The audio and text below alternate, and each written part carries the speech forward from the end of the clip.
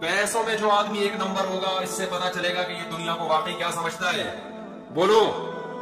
बोलो ना यार ज़ोर से। ये मुसाफिर खाना समझते हैं? इबादत से नहीं पता चलता।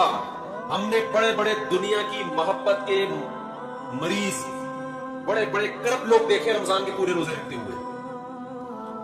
हमने बड़े बड़े दो नंबर पाँचों नमाजें पढ़ते हुए देखे हज करते हुए देखे हैं। इंसान की दीनदारी का और इस बात का कि ये आखिरत पर यकीन रखता है, सबसे पहले पता चलता है कि माली मामलात में कैसा है। पैसा देना किसी को बहुत मुश्किल काम है। अपना नुकसान कर दिया। मेरे पास कुछ काम केस आते हैं, वो एक करोड़ खा गया, उसको दो करोड़ खा गया। जो खाया होता है मैं उससे बोलता हूँ, दो इसको कह कहाँ से दो? घर बेच के दो। भाई, मैं रोड पे आ जाऊँ? मैंने कहा, जिनके पास जाती घर नहीं है रोड पे सो रहे हैं वो सारे? बोलो ना क्या हो गया? भाई, किराए पे रहो ना। नहीं जी, मैं कैसे घर बेचूं? मैंने फला को दो करोड़ देना है, तीन करोड़ देना है, मैं घर क्यों बेचूं?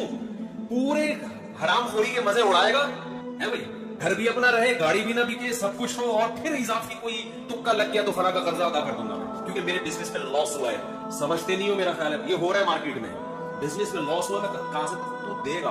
आजकल मेरे जबान में बाप का लफ्ज चढ़ा दिया बंदे ने तेरा बाप भी देगा। मकान बेच दे कर्जा फला का। मेरे छोटे छोटे बच्चे हैं, मेरे तो भाई छोटे छोटे बच्चे भी होते हैं बड़े बड़े बच्चे भी होते हैं। ये तो हमेशा से हो रहे बच्चे कभी छोटे होंगे, कभी बड़े होंगे, कभी मंझले होंगे, कभी नहीं भी होंगे, कभी होंगे। ये तो दुनिया का हिस्सा है। क्योंकि आसमान से नया नाजिल हुआ है तेरे छोटे बड़े बच्चे हैं। बच्चे तो पहले छोटे छोटे ही होते हैं बड़े बड़े तो अचानक पैदा नहीं हो जाते। फजूल किस्म की बातें। मकान बेचो, फला का कर्जा दो। नहीं आ रही बात, मेरा ख्याल बहन विरासत मांग रही है, बेच इस मकान को जिसपे तू कब्जा करके बैठा हुआ है, हज़ार गज के बंगले पर। बेच के उसका हिस्सा दे। दे तो तू थाक पे आ गया हूँ मैं तमीज से समझाने वाली बातें है ही नहीं। दाढ़ी इतनी लंबी रखी हुई है उम्र हो रहे हैं, तुम्हारा हज हो रहा है। तूने बहन की विरासत कह रही जब मकान बिकेगा, मकान तो 25 साल के बाद जाके बिकेगा। उस वक्त तो बहन बुढ़ी होकर मर चुकी होगी, उसको क्या फ़ायदा होगा इस मकान से? नहीं जी, अपना का मकान है, बेच दिया तो हम कहाँ जाएँगे? क्या जिन लोगों ने, क्या किराए पे, मैं अभी तक अल्लाह का शुक्र है किराए पे रहता हूँ। अभी तक मेरा जाती घर। हम जब चौदह बच्चों के साथ किराए पे रह सकते हैं तो तू दो बच्चों के साथ वो भी इतने से इतने से।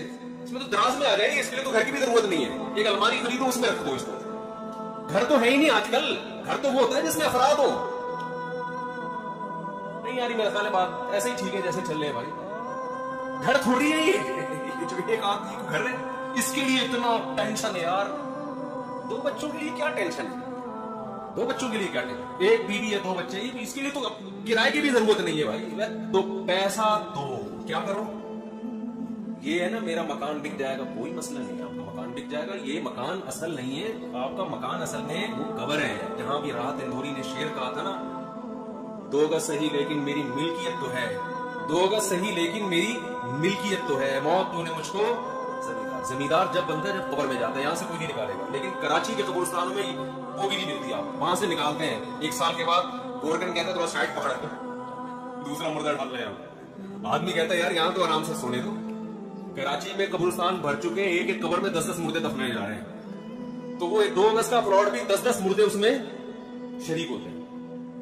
अभी एक साहब आए कि वो हमारी वालदा का इंतकाल हुआ था, उसी कबर में वालिद को हम दफना रहे हैं, जगह नहीं मिल रही। मैंने कहा, अपनी ज़िम्मेदारी दफनाओ भाई। मुझे नहीं पता आपके अब्बा अम्मा के ताल्लुकात कैसे थे।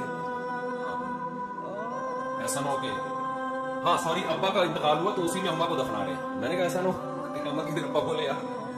यहाँ तो मुझे थोड़ा सा इंजॉय करने देते लेकिन अगर अच्छे ताल्लुकात है फिर तो ठीक है। तो मैंने कहा दफना सकते हैं, इतना अरसा अगर गुजर गया, लेकिन बाकी आपके अब्बा अम्मा के ताल्लुकात कैसे थे?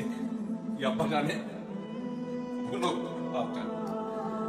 एहतियात इसी में के पास में रखें तो खैर, पैसों के मामले में इंसान का पता चलता है कि ये दिल से दुनिया में दुनिया की मोहब्बत इसके दिल में है या पैसों में दिल पड़ा।